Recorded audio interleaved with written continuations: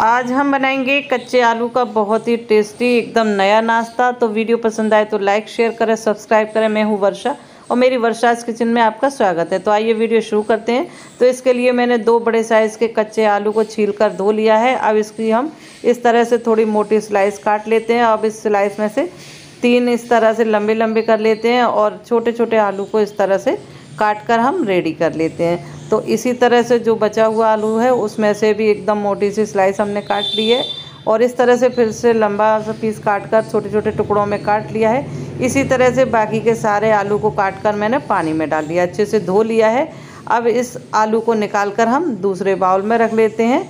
तो सारे आलू को निकाल कर बाउल में रख लिया है। अब इसमें कुछ सामग्री और डालेंगे तो दो चम्मच भर के मैंने बेसन डाला है और दो चम्मच गेहूँ का आटा डाल लेते हैं।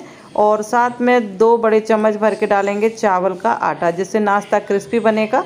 अब आधा चम्मच लाल मिर्च पाउडर, थोड़ी सी हल्दी डालेंगे एक चौथाई चम्मच, आधा चम्मच धनिया पाउडर, थोड़ी सी अजवाइन, आधा चम्मच नमक, चार चम्मच बारीक कटा हरा धनिया डाल लेते हैं और अब चम्मच से सभी चीज़ों को अच्छे से एक बार मिक्स कर लेंगे। तो सारी चीज़ अच्छे से मिक्स हो गई है थोड़ा थोड़ा पानी डालेंगे और थोड़ा थोड़ा पानी डालकर इसका एक गाढ़ा घोल बनाएँगे। तो बहुत ज़्यादा पानी नहीं डालना है, जिससे हमारा बैटर पतला हो जाए तो नाश्ता हमारा अच्छा नहीं बनेगा।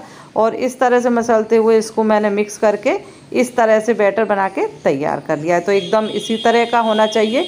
इधर मैंने पैन में दो बड़े चम्मच तेल गरम कर लिया है। तो अब नाश्ता बनाएँगे। तो मुट्ठी में एक मुट्ठी भर के मैंने बैटर ले लिया है आलू के समेत। अब इसको हम बीचों बीच डाल देते हैं। तो इस तरह से डाल दिया है। चम्मच या इस तरह से हाथ की मदद से इसको हल्का सा फैला देते हैं। कुछ देर सीखने के बाद इसे हम साइड में कर देते हैं और दूसरा नाश्ता भी मुट्ठी भर के मैंने इसमें डाल दिया है। इसे भी हम चम्मच की मदद से हल्का सा फैला लेंगे। कुछ देर इसे भी सीखने देते हैं। तो इसे भी साइड में कर देते हैं और जो बची हुई जगह उसमें भी एक नाश्ता और डाल दिया है। तो जितनी जगह है, उसके अकॉर्डिंग नाश्ता डाल दें उसे भी अच्छे से हम फैला देंगे। तो यहाँ हमारा चार नाश्ते बन के इस तरह से तैयार होंगे तो चार मैंने डाल दिए हैं हाई फ्लेम पे इसको सिकने देंगे। और जैसे ही हमें लगेगा नाश्ता हमारा एक साइड से सिक गया है झावे की मदद से इसको बड़ी सावधानी से पलटेंगे, क्योंकि हमने बैटर इसमें बहुत कम मिलाया है और बहुत ही कुरकुरा नाश्ता बन के तैयार होगा। और वीडियो पसंद आए तो प्लीज़ लाइक शेयर करें सब्सक्राइब करें और कमेंट करके ज़रूर बताएँ।